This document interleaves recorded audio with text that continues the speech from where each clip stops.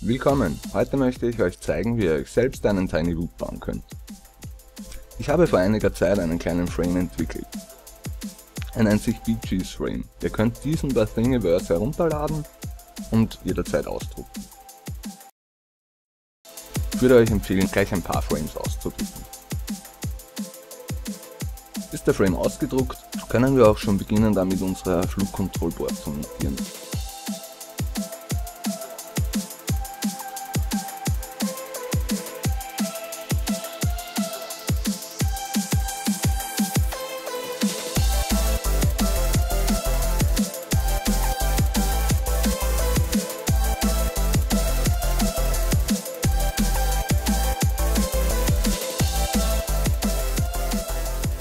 Motoren habe ich auf der Unterseite mit einem Schrumpfschlauch versehen, der auch gleichzeitig mein Landegestell sein wird. Ich lege hier fest, welche Motoren an welche Position gehören. Die Motoren sind mit unterschiedlichen Kabelfarben markiert.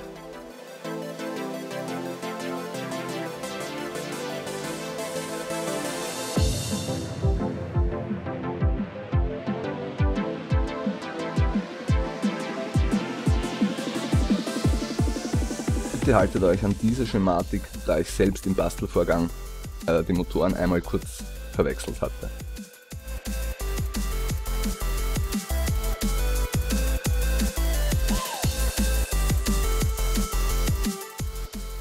Hat man die Kabel schön strukturiert, muss man nun die passenden JST 1.0 Stecker an die Motoren löten, um die Verbindung erfolgreich herzustellen.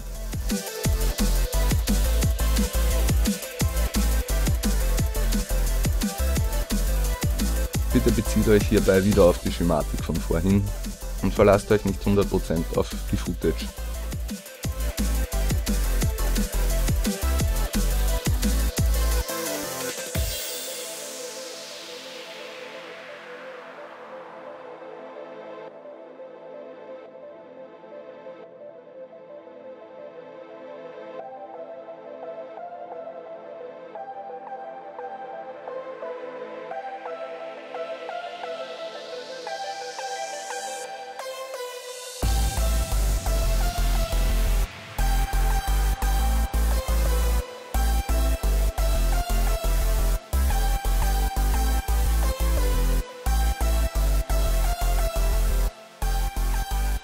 Sind die Verbindungen zu den Motoren hergestellt, können wir uns nun um die Verbindung zu unserer FPV-Kamera kümmern. Ich habe mir hierfür ein vierpoliges JST 1.0 Kabel mitbestellt.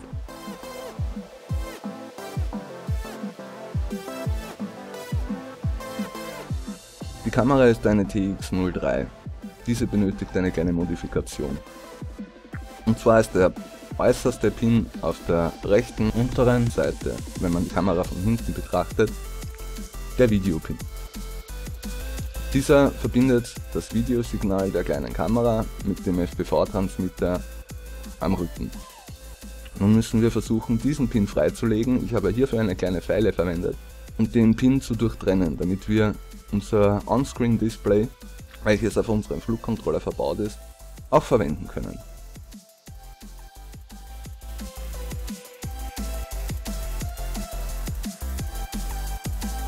Sobald man Zugang zu dem Pin hat, kann man ihn mit einer kleinen Nadel ein wenig abheben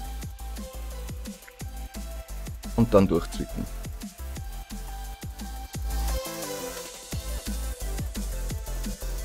Leider ist mir beim Löten die Kamera ausgegangen und ich habe keine Footage vom Löten der Kamera. Aber ihr könnt euch wieder bei der Schematik informieren.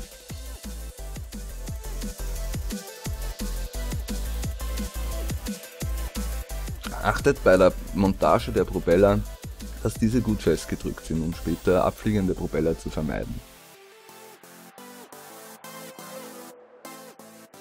Sollte ein Propeller einmal nicht gleich ganz auf den Motor gehen, nehmt ihn nochmal runter und montiert ihn nochmal neu. Das hilft oft.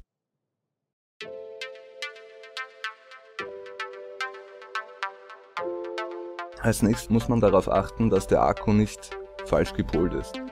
Einige meiner Akkus einer anderen Marke waren verpolt und ich musste die Plus- und die Minuspole austauschen.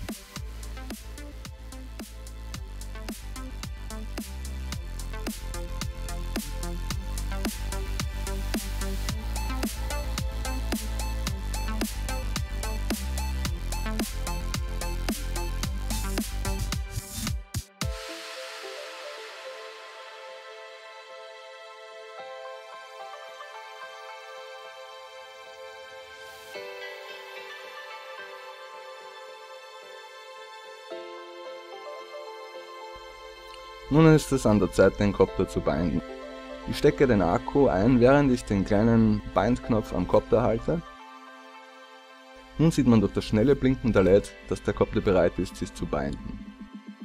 Als nächstes schalten wir die Fernsteuerung ein und halten dabei auch den Bind-Knopf. Ist der Binding-Vorgang abgeschlossen, beginnt die LED am Flugkontrollbord langsam grün zu blinken. Nun können wir die Fernsteuerung einmal aus- und einmal einschalten und wir sollten mit dem Kopter verbunden sein.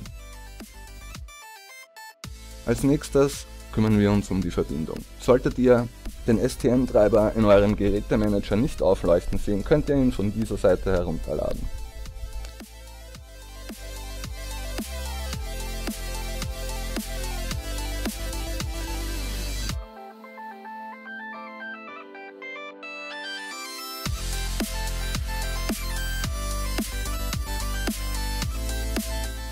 Nun können wir auch schon eine Verbindung zu Betaflight herstellen.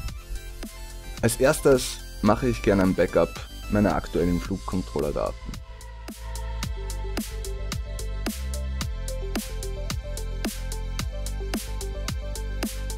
Dazu schreiben wir dump in die CLI, machen uns eine Textdatei auf, in die wir unsere gesamte CLI-Ausgabe einfach reinkopieren können.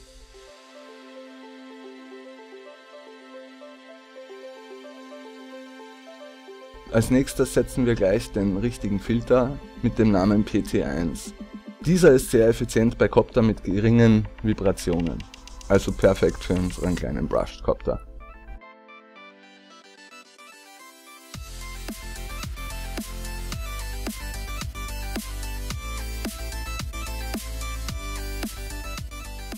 Wir überprüfen die Optionen im Betaflight Konfigurator hier habe ich eine Änderung vorgenommen. Ich habe die Loop Time von 8K 2K auf 8K 1K gestellt, da meine kleinen Brushed Motoren sonst relativ warm geworden sind. Sprich, ich hatte einfach Angst vor Überhitzung. Performancemäßig habe ich noch keine größeren Einbußen feststellen können.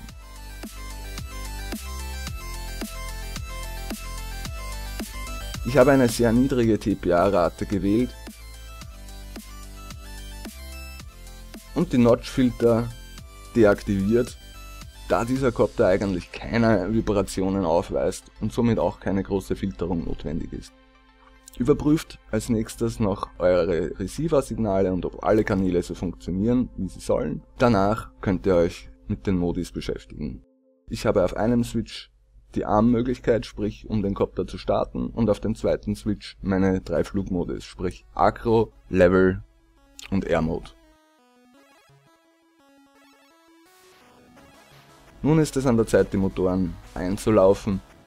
Hierfür schließt ihr einen Akku an das Flugkontrollboard und aktiviert die Motoren hier im Motors-Tab auf sehr geringer Drehzahl.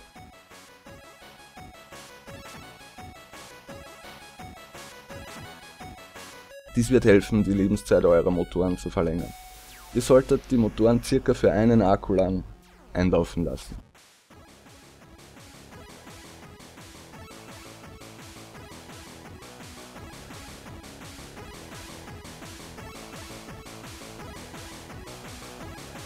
Nun ist es auch schon an der Zeit, unseren Bild zu testen. Viel Spaß!